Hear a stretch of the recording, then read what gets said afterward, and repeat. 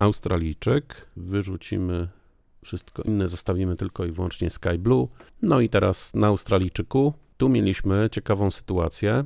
Spójrzcie. O, może mój wskaźnik uruchomię. Tu mieliśmy ciekawą sytuację. Dzień jak dzień, wyjście Sky Blue X, ostra jazda w dół i teraz zatrzymanie w ramach setupu. Ale w nocy, jak gdyby tego typu sytuacja nie jest złamaniem reguł, według mnie, rynek poleciał na dół. No i tutaj zabawiliśmy się na Sky Blue. Tutaj utrzymaliśmy się wewnątrz. Tutaj w kolejnym dniu było wy, najpierw reakcja, później wybicie. Wybicie do X, a nawet dalej, no ale rynek, jak widać, znowu setup zrealizował. Ten setup wczorajszy też jakby tutaj był od dołu zrealizowany. Wieczorem wyszliśmy w górę, ale w nocy zejście do poziomu Sky Blue, czyli setup znowu zaliczony, czyli cena pomiędzy tymi grubymi poziomami Sky Blue jakby zrobiła robotę taką, jak zrobić powinna zgodnie ze statystykami. W tej chwili jesteśmy na Australijczyku na dolnej bandzie. To, czego moglibyśmy oczekiwać, to wzrostów, co jest bardzo wskazane, na przykład ze względu na poziomy chyba właśnie aqua, ale to może do tego czasu coś się już wyjaśni. E, tam na górze chyba są aqua, jeśli dobrze pamiętam, do rozliczenia. Ale to za moment. I teraz, bo zacząłem od tego setupu.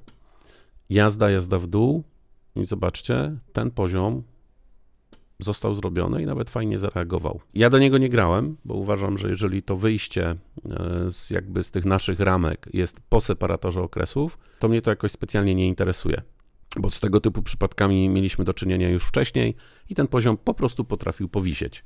Ale jak widać tutaj w załączonym, na załączonym obrazku, no zadziałał. Zadziałał i to nawet całkiem fajnie. Znowu, na Australijczyku ostatniego tygodnia na Sky Blue nic nam nie wisi. Dołóżmy mm, również tutaj fiolety. Podobnie jak na euro, jeżeli cena jest powyżej, ma być reakcyjna, jeżeli jest poniżej, e, powinna być zaliczana. No i poziomy są albo reakcyjne, jeżeli nie reakcyjne, to wracamy. Pod spodem, no praktycznie nie mieliśmy tutaj chyba takiego przypadku, żebyśmy byli gdzieś, no tu byliśmy nad ceną podczas sesji azjatyckiej, europejskiej, no ale ta cena była jakby ściągana w kierunku do, e, do poziomu fiolet. Tutaj był fiolet, czyli wyszliśmy, a mieliśmy ciąg poziomów z wczoraj. No i cena zgodnie z założeniem wróciła do tego poziomu. Ta linia tutaj, fioletowa, ona prawdopodobnie mm, będzie się ciągnęła gdzieś tam do godzin popołudniowych. No i po godzinie 14-15 powinna zostać raz jeszcze rozliczona, więc zobaczymy, czy będziemy mieli reakcję na Sky Blue i później jakiś powrót w dół, Zobaczymy, co, co, się tutaj, co się tutaj wydarzy. Zgodnie z poziomami, poczekajcie, bo to potrzebuję do tego trochę większego powiększenia. Tu był poziom Sky Blue. W tym miejscu był poziom Sky Blue, który no wisiał, jak widać, został rozjechany, prawda? Jak popatrzymy na dłuższą historię na poziomach na UD, USD, to widać, że jeżeli poziom wisi dłużej, to jest ciekawym poziomem reakcyjnym. No i teraz ten poziom tu Czekaliśmy na niego ponad dwa tygodnie. Mieliśmy jakąś reakcję, tutaj też, ale zobaczcie. Przedwczoraj gwałtowne zejście i tutaj, nie wiem czy to będzie widać na minutówkach, e, ale może weźmiemy chociaż piątki. Tu jest reakcja na ten poziom. Warto obserwować wykresy właśnie z takiej dużej, z większej perspektywy też no, klikać w poziomy z shiftem, bo wtedy się przedłużają i słuchajcie, no kurde, nie ma przypadków, nie? Szczególnie, że to było tak, że w tym dniu cena zareagowała na Sky Blue, odejście, jazda, tutaj było EX, które przelecieli, no i gdzieś tam się pojawiła tutaj reakcja. No to warto patrzeć, co się dzieje z takimi no, nie że codziennie, ale taki poziom, który wisiał, bo za chwilę mielibyśmy mnóstwo kresek, gdybyście wszystko klikali, ale taki poziom, który długo wisiał, powinien być reakcyjny, bywa po prostu klepany w punkt, tak jak w tym przypadku.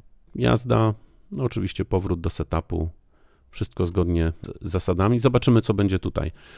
Na godzinówkach z tego setupu wyższych szczytów, wyższych dołków, jeżeli takowy pamiętacie, jesteśmy też już w trendzie prowzrostowym.